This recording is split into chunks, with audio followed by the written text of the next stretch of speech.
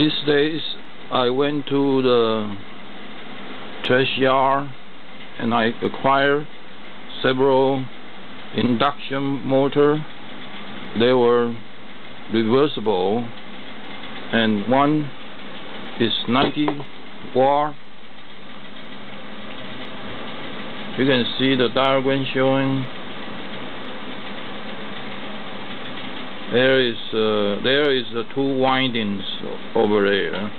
One winding is directly you can directly to hook up to the AC power and the other winding you must uh, pass through a, a 25 microfarad capacitor so they were out of phase then you will go in one direction and then when you connect in the reverse connection on the bottom diagram you will get you will get uh, reverse. Now I show you the in the real world connection when the AC coming from this line to here and the center going to this six three uh, two three position three throat throat three. Um, so it will come in either this way to this line or either this way to this line and then the common the other line going to the to, to the ground to the common not a, not really ground but the common. And then this one is uh, 3.3 microfarad capacitor. And so by by changing the switch position the AC will go in either to this this termination or from here to another termination and then go into go into the motor to these two wire here.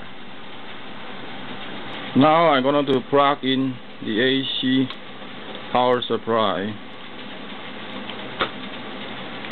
And I will switch now it's in the center so okay now I want to switch now now I want to push it to one direction. And you can see that it's running counterclockwise. And then I move to the middle position stop. And then I change to another direction. It going counterclockwise shot. Okay stop it. In order to show you the better picture there are three wires coming out of the motor. One is black the other one is yellow and the third one is white. The black you can connect to the common and the yellow is one winding and the white is another winding. And then you will need a capacitor which is exactly uh, the value you need. You you see on the diagram on the motor which is uh, for this 90 watt inductor motor the capacitor we need is 25 microfarad and 250 volt AC whatever higher the voltage the better it is. And you need a wire from the AC outlet of your wall and if you want to control it two direction you need a three pole three throat switch. Now I connect I connect uh, the common the common wire.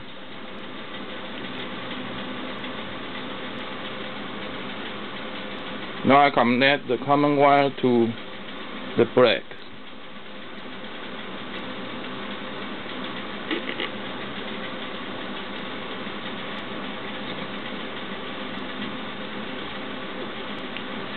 then I connect the two yellow and white connector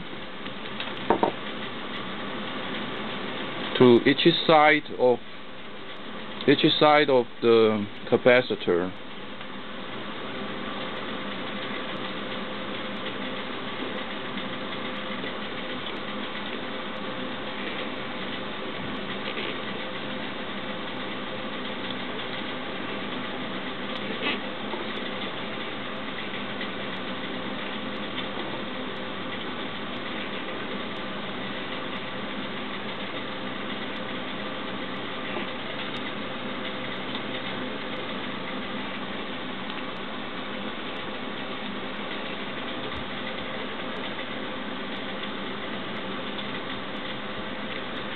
then I connect the switch two wire the two wire from the switch to the two wire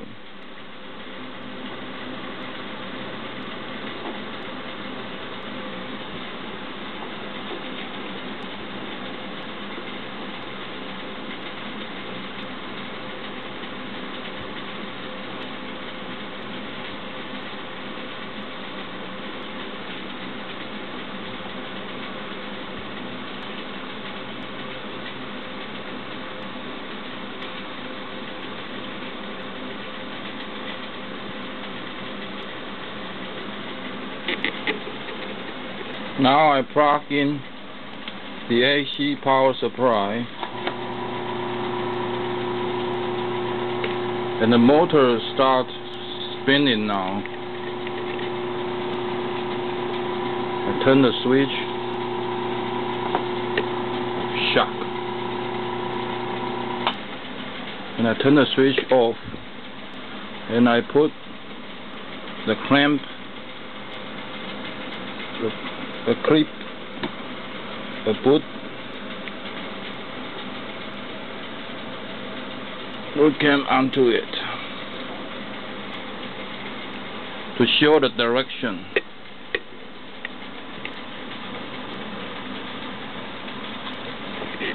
Now I turn, I switch to one direction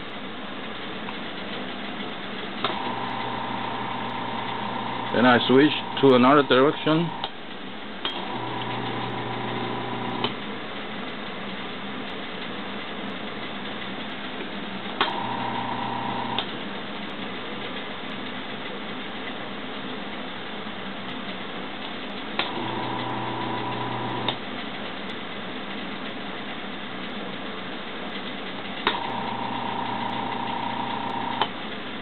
Now I unplug the AC power because it's too dangerous for me to use my oscilloscope to to see the phase angle difference in this test.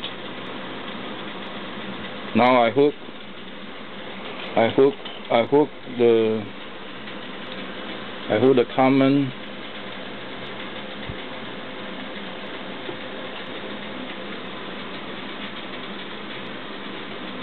Put on the common lead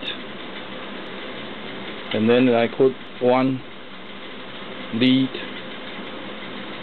to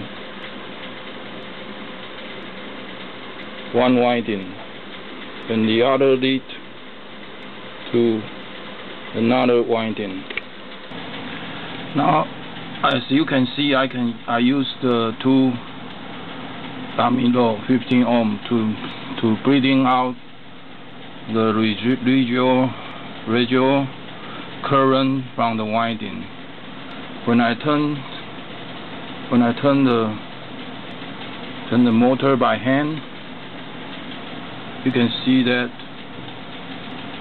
they were out of phase. They were out of phase.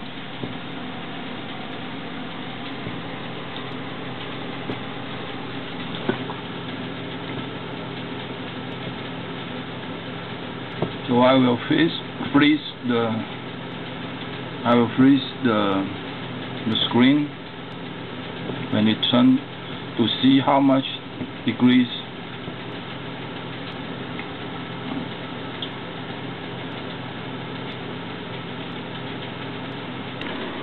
Turning by hand is kind of difficulty, so I use the, the trio chuck to the axle of the motor. Now I can get better pictures here.